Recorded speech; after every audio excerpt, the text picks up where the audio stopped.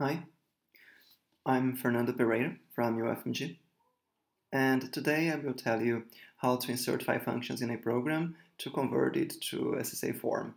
We shall use this end the notion of dominance. If you remember from the class on loop optimization, node D dominates node N if every path from the beginning of the graph to N goes through D. And there is a very important property of SSA form programs. In a strict program in SSA form, the definition of a variable must dominate all its uses. A strict program is a program in which every variable is defined before being used. Notice that in this definition, if x is an argument of a phi function, then the definition of x dominates the edge from where that argument comes from not the basic block where the phi function is. We can see that the dominance property is true in this program. If you want, you can stop the video and check that every definition dominates all its uses in the SSA form program. Again, notice that in the case of uses that are arguments of phi functions, like for instance uh, the uses of a2, a1, and a3 in the definition of a4 here, in the case of uses that are arguments of phi functions, the property is a bit different. For instance, variable a3 is used in the phi function that defines a4 at uh, L6, where a3 is defined does not dominate L8, where the phi function is defined, but L6 dominates the edge L7 to L8. The important question, nevertheless, is how can we use this property to guide us in the placement of phi functions? Well, something very lame that we could do is to add a phi function at every basic block with multiple predecessors. Then if we do this, we can traverse the program's dominance tree, renaming variables to make sure that SSA property remains true. But we can do much better actually. To pave the way for a nice algorithm to place phi functions in the program, we need to define this notion of dominance frontier. First, let's talk about strict dominance. A node X dominates another node W strictly if X dominates W and X is not W. Now, dominance frontier of a node X is the set of all the nodes W such that X dominates a predecessor of W, but does not dominate W strictly. As an example, try to find the dominance frontier of node E in this example. That's a good moment to grab a piece of paper and stop the video to do this as an exercise and to make sure that you understand this notion of dominance frontier. So, to start with, node E dominates nodes F, G, H, and E itself. From this set, it's easy to come out with the dominance frontier of E. Would you like to guess it? Here's the dominance frontier of E. In a way, the dominance frontier of a node is the set of vertices in the graph that the node almost dominates. So for instance, E dominates F, which is a predecessor of D, but E does not dominate D. Therefore, D belongs into the dominance frontier of E. But why does E belong to its dominance frontier itself? Well, E dominates H, and H is a predecessor of E itself. However, E does not dominate itself strictly. Well, as a matter of fact, no node dominates itself strictly by definition. From this definition of dominance frontier, we have the following algorithm to insert phi functions in the CFG. Whenever a basic block X contains a definition of some variable, let's call it A, then we need to insert phi functions for A at every node in the dominance frontier of X. And because the insertion of these phi functions produce new definitions of A, we need to iterate this procedure. Thus, we need to insert more phi functions in the dominance frontier of the dominance frontier of x. The set of nodes is called the iterated dominance frontier of x. Let's clarify these notions with an example. In this program, we have a definition of x at node f. Let's insert phi functions for f, for x. First of all, what's the iterated dominance frontier of node f? Well, the dominance frontier of f includes nodes d and h, here. And the dominance frontier of d includes l, here. The dominance frontier of h includes L as well, but it also includes E. So we will need to insert phi functions in all these nodes. I have marked them here in the bottom figure.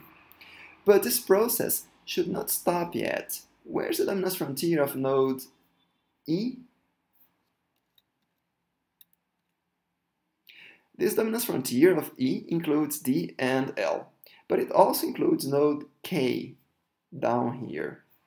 And the dominance frontier of k includes only node L. That has been already accounted for.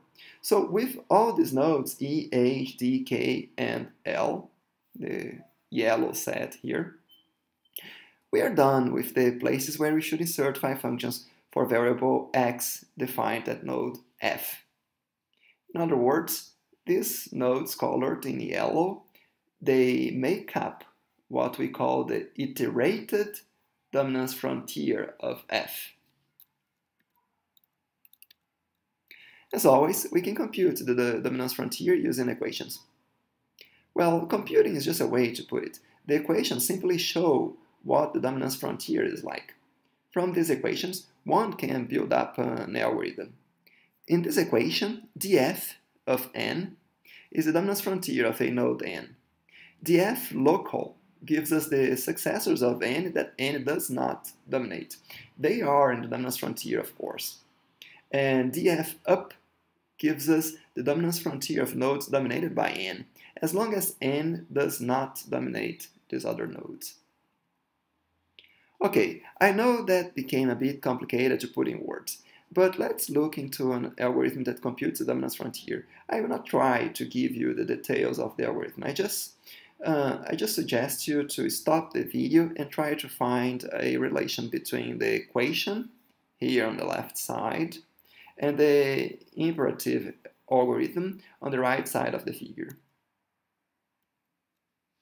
Once we have computed the dominance frontier of the nodes in the CFG, we can insert phi functions. This algorithm that inserts phi functions is on the left side of the slide. Again, we will not try to read it over, but notice that what's going on, uh, what the algorithm is doing is for each definition of a variable a in a base block n, it inserts phi functions for a at every node in the iterated dominance frontier of n. Or in other words, in the dominance frontier of n, in the dominance frontier of the dominance frontier, and so on and so forth. Once we have inserted phi functions for the variables, we must rename the variables in the program. The essence of this procedure is that we shall look into every variable defined in the program and then check every use of it that it dominates. Then we rename the definition, uh, rename the, the definition and dominated uses so that they will have the same name.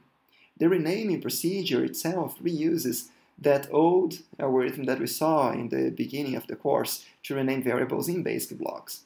We can see it on the right, just to revisit it and to rename and the rename procedure itself, which invokes the routine for basic blocks that we saw before, is here. This algorithm works for the entire program. It navigates the program through its dominator tree. You can see this part here. So basically, we are traversing the program's domin uh, dominators tree and invoking the routine to rename variables within basic blocks. You can read the algorithm more carefully if you stop the video. We will continue with an example. So as an example, we shall convert this program on the left to on the, on the left to SSA form.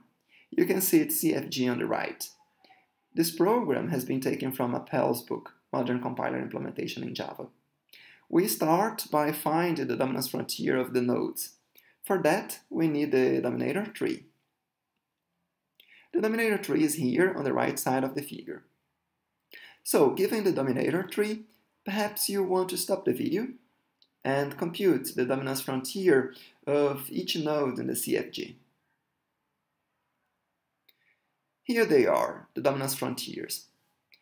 Now, let's insert phi functions in the program. Do you remember how to do it?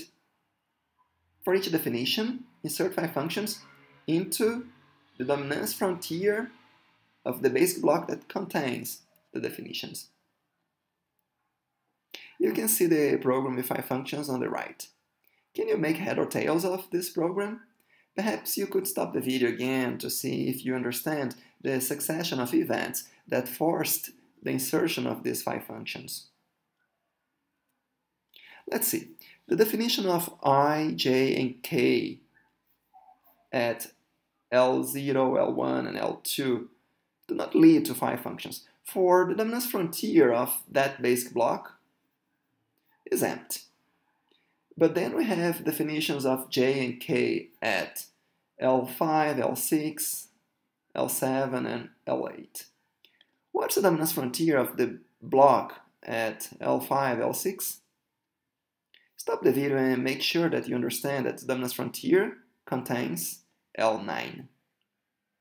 Then the dominance frontier of L9 contains L3. Again, we're talking about the iterated dominance frontier. And then we are done with the iterated dominance frontier of L5, L6. Before we move on, could you think about these questions? I suggest you to stop the video and try to answer at least the first two. So for the first answer, we could in principle to have a phi function with just one argument. Like in LLVM for instance, um, they exist. However, the algorithm that we are seeing here will never create them. About the second question, sure, we can have phi functions with as many arguments as a basic block has predecessors. Now, can you rename the variables in this program? On the right side, we have the new program with variables renamed. Perhaps you would like to check that the SSA properties hold, that is, that definitions dominate all their uses. This algorithm that we have seen was published in 1989, and it computes something that's called minimal SSA form. This is not actually a good name. The algorithm can insert more phi functions than necessary. For instance, Consider this program, where we will insert phi functions for variable i. There is a definition of i right here at L2. We will have a phi function for i at L1. However, this definition of i is not used anywhere, so this phi function is pretty much useless. And yet, the algorithm will insert it, as L1 is in the dominance frontier of L2. So how could we remove this kind of useless phi functions? One thing that we can do is to use liveness analysis. If a variable is dead at a given program point, we do not have to insert a phi function for it at that program point. This is a technique that was introduced by Preston Briggs uh, in the early 90s. And with this example, we close the discussion about how to convert a program to SSA form. Notice that we had seen a somehow outdated algorithm. There are newer ways to insert phi functions, which are actually more efficient. For a discussion, see the references at the end of this class.